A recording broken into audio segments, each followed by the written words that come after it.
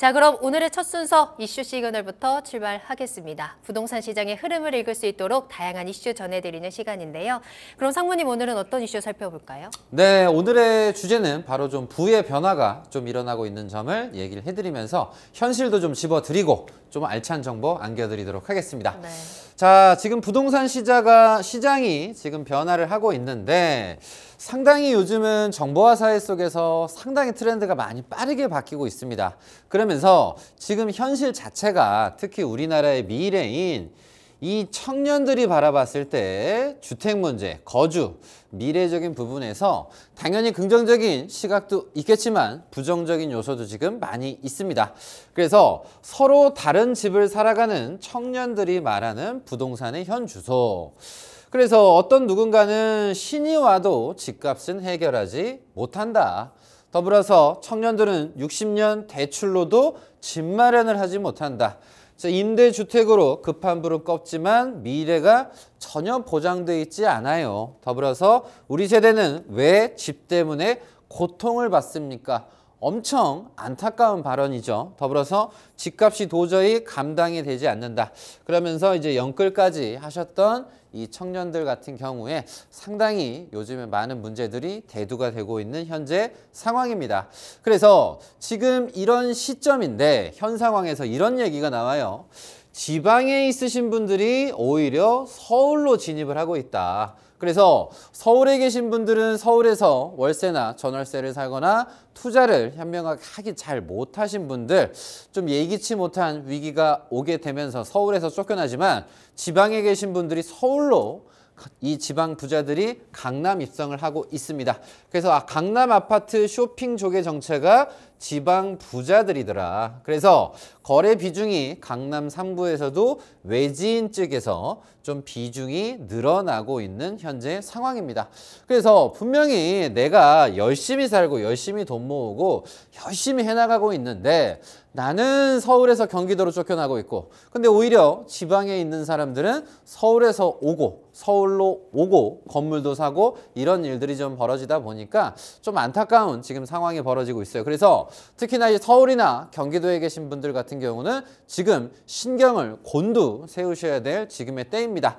그래서 지금 주택이 가격이 살짝은 회복이 됐는데 우리가 어설프게 주택에 관심을 가져서 급한 마음에 저지르게 되면 지금 금리가 뭐 동결이다 뭐 떨어진다 얘기가 나올 수도 있지만 분명히 금리가 또 오를 수도 있습니다. 그래서 안정적인 주택을 우리가 관리하시기 위해서는 주택 부분에 가격 영향을 크게 미치는 금리가 떨어지고 나서 관심을 가지시는 것도 우리 시청자님들 하나의 방법이고요. 더불어서 주택을 내가 그래도 사고 싶다. 그래서 재개발이나 재건축 같은 경우도 조합설이 확실히 돼 있거나 사업 시행인가가 확실히 돼 있거나 아니면 관리 처분이 확실히 진행이 되는 그래도 어느 정도 가격이 나가는 부동산 주택을 하셔야지 어설프게 이제 동의서 받는 물건들 같은 경우는 또 어려움이 있으실 수가 있고요.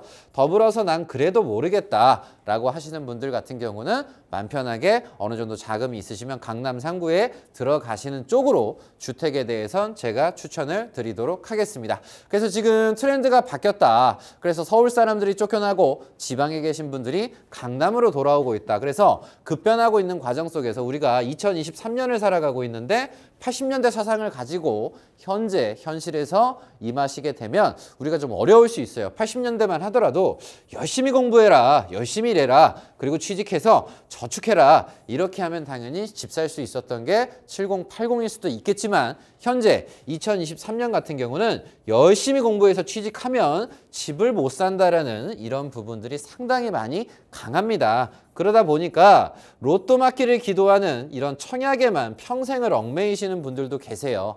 그래서 지금 또한 이런 비슷한 생각이 주택, 부동산이 오른다 떨어진다만 계속 맞추고 여러분들이 관심을 가지시다 보면 아무것도 좀 건지지 못하는 현 주소가 되실 수가 있습니다. 그래서 부동산은 지금 한 번 떨어지면 부동산은 계속 떨어지고요. 오르면 계속 오르고 이렇게 오르락 내리락 합니다. 그래서 2022년에 어려움이 오고 나서 2023년 이제 갓 1년 정도가 지났습니다.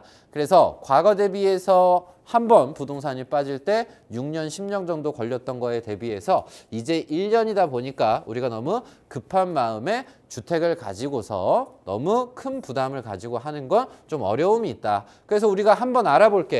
지방에 계신 분들이 어떻게 서울로 오는가? 그러면 기본적으로 지방에서 큰 사업을 하시는 분들은 자금이 많으시니까 서울로 오시기가 좋겠죠. 그러면 지방에서 부동산으로 어떻게 돈을 벌어서 강남 입성을 했을까? 이게 상당히 중요합니다. 그래서 이 지방에서 부동산으로 돈 번 사람들은 자기가 가지고 있는 부동산이 교통 혜택을 받거나 아니면 정부 혜택을 받거나 기업의 혜택을 받으신 분들이 대부분입니다.